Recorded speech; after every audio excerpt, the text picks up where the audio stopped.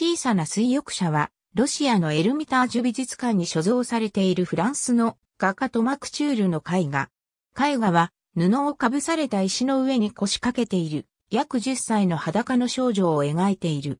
少女の隣には、赤いリボンとリンゴに加え、金色のペクトラルクロスが置かれている。リンゴは禁断の果実を象徴しており、堕落の象徴だが、信仰の象徴である十字架と相反する要素となっている。十字架の真下にある石には、画家のイニシャルと日付が記されている。この絵は1849年に描かれ、1850年代後半には、ロシアの美術収集家、ニコライ・アレクサンドロビチ・クシェレブ・ベズボロドコが所有した。所有者が死去した後、クシェレブ・ベズボロドコのすべての所蔵品と同じように、絵画はロシア帝国美術アカデミー美術館に移され、クシェレブ展示会場の展示品の一つとなった。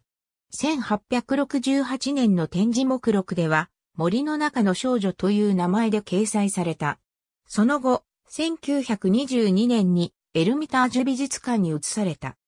西洋ヨーロッパ美術部門の研究者で、美術批評家のアリベルト・コステネービッチは、20世紀初頭にクチュールの作品を評価し、19番目のフランス美術に関する評論で次のように書いている。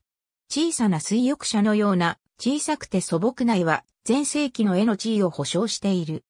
古代の作家のうんちくは緑の中の裸の少女が描かれた絵の優美さの前に消えてしまうが言うまでもなく、それはサロンの美しさがあってのことである。ありがとうございます。